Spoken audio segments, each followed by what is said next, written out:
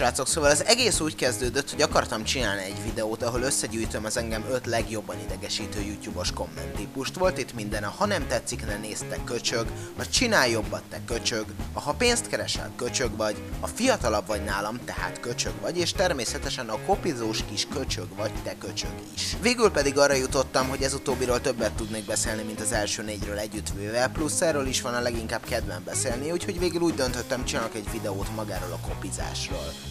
Illetve nem, mert ez így nem is pontos, inkább arról, hogy a tisztelt nagyértelmű YouTube-os kommentsereg ugyan miért titulál szinte mindent annak. Oké, okay, igazából az eddig készült ilyen videókkal ellentétben ez a téma pont nem személyes élményből született. Négy éves pályafutásom során én eddig szinte egyszer sem, vagy legalábbis nagyon kevésszer kaptam olyan jellegű kommentet, hogy Faszért kopizol, te köcög! Viszont máshol olyan csúnya rágalmazásokkal volt alkalmam találkozni, hogy szinte már az én pofám égett.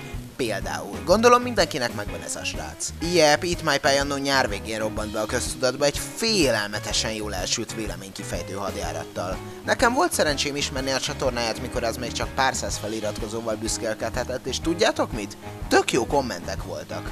Komolyan, az emberek bátorították Pályt, követelték a videókat, mindenki boldog volt, mindenki szerette egymást, aztán szinte ahogy berobbant a csatorna, megérkeztek az utálkozók, minden szarral vádolták animált barátunkat, és mindezek között a talán egyik leggyakoribb komment a kötelező Chris fanok kommentjei mellett a következő volt.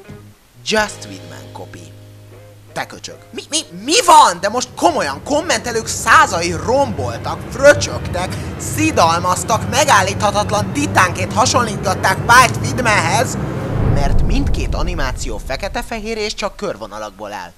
Jó meg a pontszemek. Emberek, könyörgöm, az egyik csatorna főleg sketchekre épülő ismeretterjesztő vagy valamilyen termékbemutató videókkal operál, a másik meg egy vlog csatorna. Az egyetlen párhuzam a kettő között az animációs stílusa, ennyi erővel pedig minden anime mi az, akit koppintja, és minden Disney film egy undorító hófehérke átirat. És különben is, ha már mindenképp párhuzamot akarunk vonni, akkor Vidman gyakorlatilag az ASDF movie kicsit kibővített hazai megfelelője, itt My pedig egy egyébként tök jó Domix honosítás. És mielőtt azt mondanátok, de hát Dani, lecseszed szegényeket, amiért plágiumnak könyvelnek el valamit, a következő pillanatban meg már hozod is a párhuzamokat, hogy kikit ihletett? Állj! Pont itt van a kulcs szó, ugyanis itt maximum ihletről van szó, nem pedig kopizásról. Kivéve ezt a videót, Pály, mi van veled? 2016 van, nagyon sok évszázad telt már el az első barlangrajzok óta. Kicsit radikálisan hangzik, de már nincs új a nap alatt.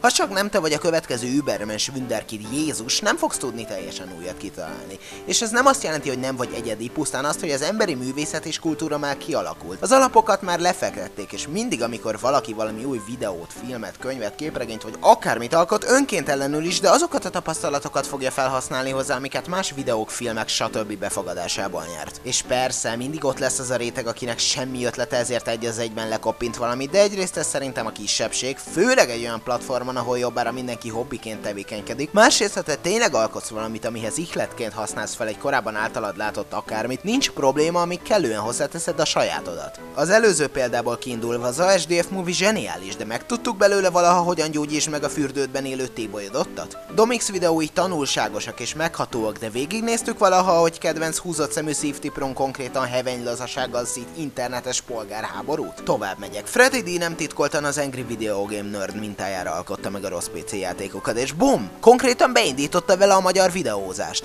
Fekete Dani nem titkoltan a Fanvid Akacukitól vette az ötletet az egy Akacukis életéhez, viszont egyrészt sorozata bőven sikeresebb lett az elődnél, másrészt emberek tucatjait ösztönözte rajzfilm készítésre. Jegyzem meg köztük engem is. Összegezve, amire ki akartam lyukadni ezzel az egész kicsit kaotikus gondolatmenettel az az, hogy bár tényleg vannak szánalmasan nyilvánvaló másolások YouTube szerte, alapból ötletet venni máshonnan nem feltétlenül bűn, elítélni valamit ezért pedig egyenesen hülyesség. Úgyhogy nagyjából ennyi lenne, ha esetleg máshogy gondolod, vagy úgy érzed valamit hozzá tudnál tenni a gondolatmenetemhez, a komment szekcióban várlak szeretettel és egy macsétével vitázzunk egy jót. Na hej ho!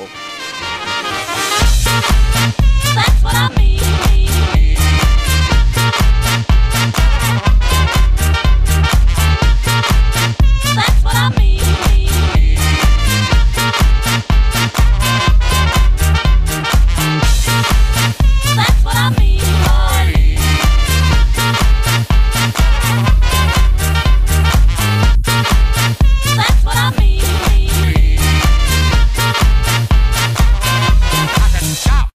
Pály, mi volt ez?